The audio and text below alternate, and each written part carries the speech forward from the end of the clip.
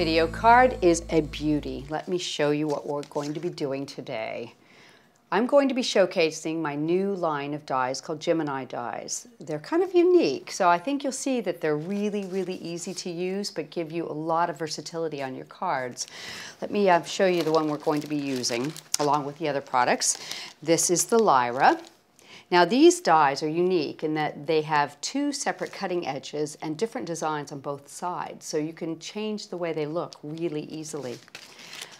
The uh, finishing touch, we're going to be using the new mosaic leaves. And I've got a dainty oval frame for my new frames and tag set. For the floral element, the finishing touches camellia. This is the complete petal. It also comes with a matching open petal. And the stamp that we're going to be using is from the Celebrations uh, set from Creative Expressions. And the new Rambling Blossoms A4 embossing folder to give our um, card just a really nice little detailed embossed portion. Set those to the side. So I think the first thing we'll do is actually cut the die. We'll do the Lyra cutting. So I'm going to take this one in. And as you can see, I've got a single die here Really, really pretty uh, design, very swirly and elegant, and two separate cutting edges that it goes with. So let's go ahead and line this up onto our card. And I'll put it right about there. I'm going to take the cutting edge and put it together and tape them in place. And just let me get them nice and straight. That looks good. Use a bit of that. Pop that off. Let me make sure I'm all the way on the card. Yes, I am. We're going to bring our cutting plate and our, uh, base plate over. Pop this into place. Now I always cut the long border dies going the same way as the cutting plates, so they cut better that way. I'm going to run this through our Grand Calibur.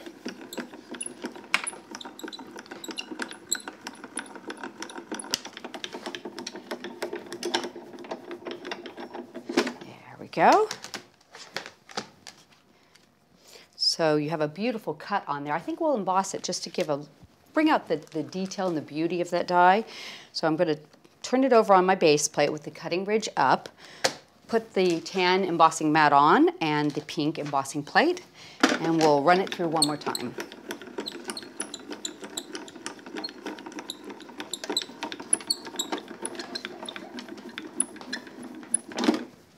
Okay, let me show you how pretty this is now.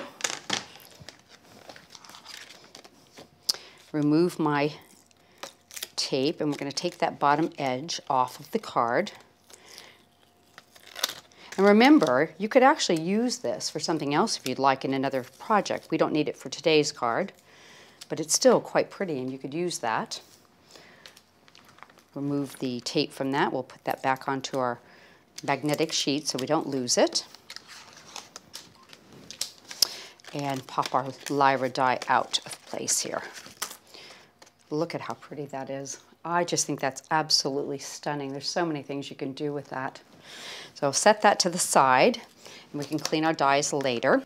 So the next thing I'm going to do is to emboss some card. I've got a piece of coconut white card here and my Rambling Blossoms embossing folder. So I'm going to pop that into place and let me get the plates that I need. The gray base plate with the raspberry adapter plate is the sandwich. I'm going to run this through the Grand Calibur.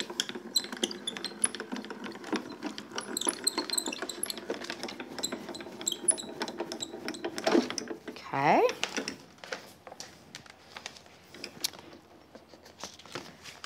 You can see the beautiful level of emboss on that uh, folder.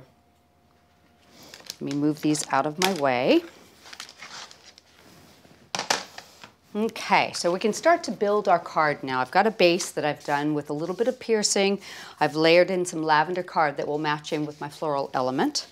So we are going to use some mounting foam and just pop this into place. And this will be the base of our card. Let me get that centered there. That looks pretty good. And I've gone ahead and put a bit of uh, mounting foam onto the piece I cut previously. just to get that ready for us.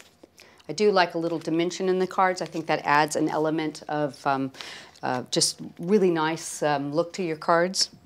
So I'm going to match that up. Excuse me while I lean in just a little bit. I'm going to match up my corners there. So you can see I've just started to build up the card. The Lyra die has been cut and you can see the pretty embossing coming out from underneath that. Okay, so next thing I'm going to do is show you some flowers. I've gone ahead and cut a few of the Camellia Complete Petal Set. Just to dress it up and give it a little bit different of a look, you can take a white gel pen and you can add some, just some little vein looking um, marks across each petal. And as you can see, we're really, really simple, little, little threesome on each of those. Nothing um, difficult about that, but it does change the way that that uh, flower is going to look. And then I've done a couple more here. I'm going to use some of the Dusty Concord Distress ink just to give the edges of these a little bit of a highlight. Tone the colors in together. There's that. We'll do all of these while we've got it ready to go. There's another one. You can see it's just, just a tiny bit of color on the edge of these. Okay, pop that to the side. Now I'm going to go ahead and bring in a um, foam pad that I'm going to use the a little bit of a ball stylus and give these some dimension. And I'm just going to go through and rub the back of the petals and form them and give them some shape. And then just right in the center there. And you can see it kind of goes upward like that. Now what I like to do is pinch them a tiny bit too.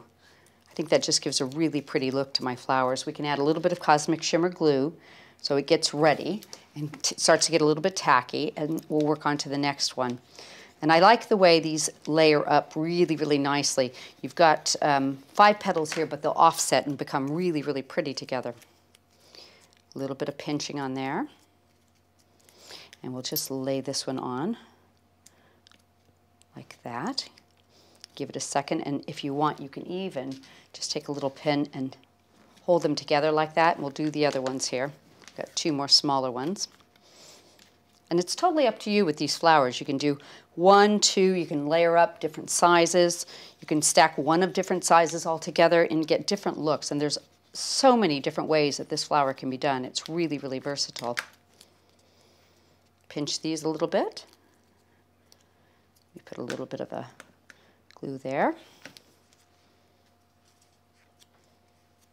And we're going to pinch this. So you've got a really nice look coming about here. I'm going to pop this one into place and put a little more glue here. And we'll set this one offset to that. And then I'm just going to put this pin back in the center of that and give it a second to, to secure. And you'll see it there we go. Hold that into place. And that'll the glue will dry and set up really nicely and you can add a pearl into the middle of that. I've also got a sentiment from our sentiment set that I'm going to cut with the center of the dainty frame. It comes in separate pieces. This one is a um, decorative cutting piece without an edge, so I'm going to use the matching edge with it. So I'm going to layer this up over our sentiment and just get it nice and straight in place there. Pop that on. We'll run this through and give it a quick cut. And we're going to do some inking with this one as well.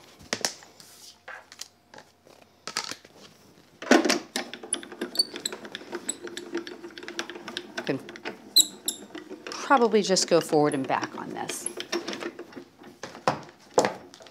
Let's see. That looks very, very nice. Now, what I want to do with this is a little bit different. I only want to ink the very center of this. So what I'm going to do is just put a bit of the removable tape all the way around the edge and cover up all of the bits that are exposed that would be getting the ink if I inked it directly this way. So I'm just going to make sure I keep the center of that completely exposed and ink up the outside, or excuse me, cover up the outside. Move that over a little bit. That should do that. get around that corner. And I think I've got that nice and covered on all my cut bits except for the center there, okay? I'm gonna go back to my Distress inks. This is your Dusty Concord again, and I'm just gonna give it a light inking all the way around the edge. It's a nice highlight for those um, sentiments and it draws your eye in on your cards. There we go, that should be enough. Let's see how we've done. Now these tapes I probably would not reuse because they do have ink on them. There we go. So we'll put those in our bin. Take this piece off. Pull that out. So you have a, a um, really pretty sentiment piece there with just the ink in the center of it.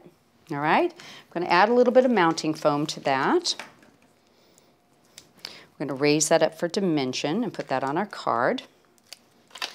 Let's bring that back over here.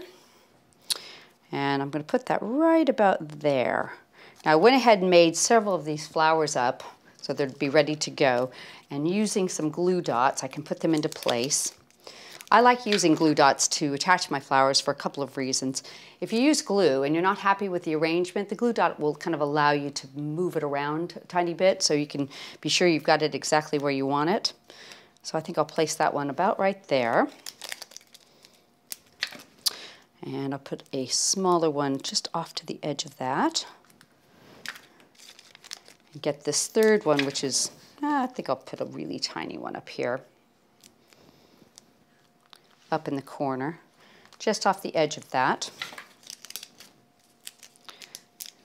And I've got some leaves that I've cut, so I'm going to go ahead and tip them underneath the edge of that, just as little accent pieces. And my mosaic leaf that I cut previously. In fact, I'll tell you what we'll do. We'll just nip this and do a couple little bits. One like that, one like that.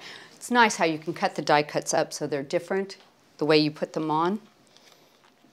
I'm going to tip that right under the edge there, coming off of that flower, and use the other little beat, bit down here. And let me just tidy that little tiny bit where I cut it.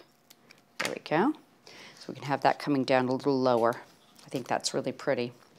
And a few more leaves to finish this one off maybe right about there. This is the part you can play with with your own creations and put them exactly where you want them. I think sometimes that's the fun of making the cards, that you get to kind of play around with what you've got and make it look any way that suits your personal preferences. So that's not too bad. I think that's really quite cute. So you've got a really stunning card, not a lot of effort. Your Lyra die gives you something that, that draws the eye in and gives you an interesting look. And if you want to remake the card and turn that die around, get a completely different look to it, you can do it with the new Gemini dies.